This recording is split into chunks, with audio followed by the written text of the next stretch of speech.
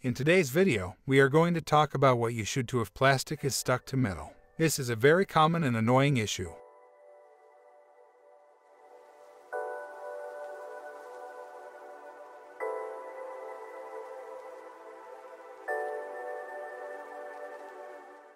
Plastic can melt and get stuck to your knives, pipes, tools, or even metal rods. Luckily, we have three different methods you can use to deal with this.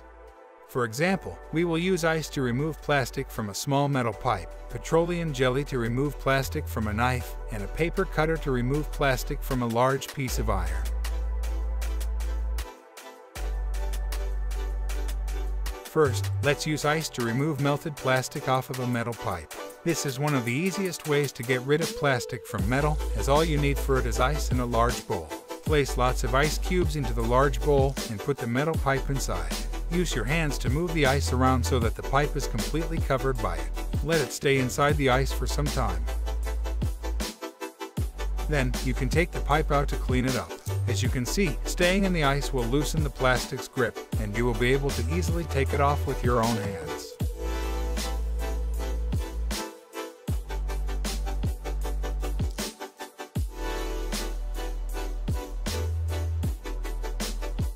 Next, we will show you how you can easily remove plastic from a knife or any blade by using petroleum jelly.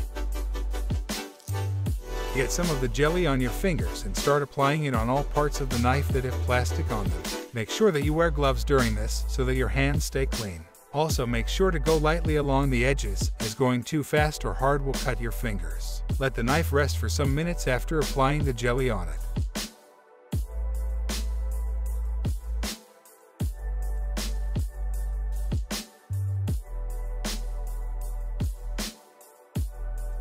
Use a cloth to rub the jelly off of your knife after time has passed. Doing this will also make the pieces of plastic come off as well.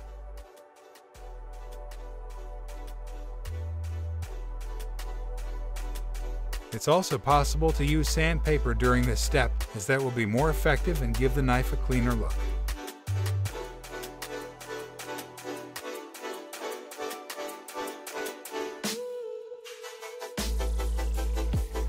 As you can see, doing this will completely clean your knife and get rid of the plastic from it.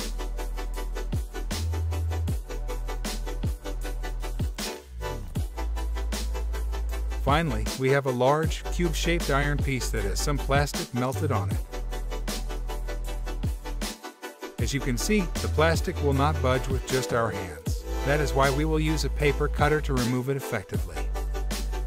Use the cutter to scrape around the area with melted plastic on it, so you can loosen its grip from the sides. Slowly make your way towards to the center of the piece, and it will eventually come off. Then, use the cutter to get rid of any extra pieces that are still stuck on the piece of iron.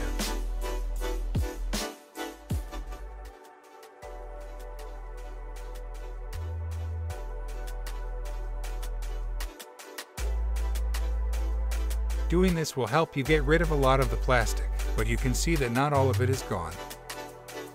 To deal with remaining debris, you can use sandpaper to rub off the melted plastic and give the iron a clean finish. It will be completely clean after this.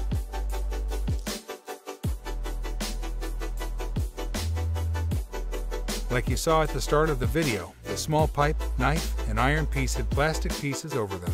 But using these methods, we were able to get rid of all of it. Now they are completely clean and ready for use again. Hopefully, our methods to get rid of plastic from metal are able to help you out too. If they did, subscribe to Hooked on Tools so we can deliver more guides like this one to you.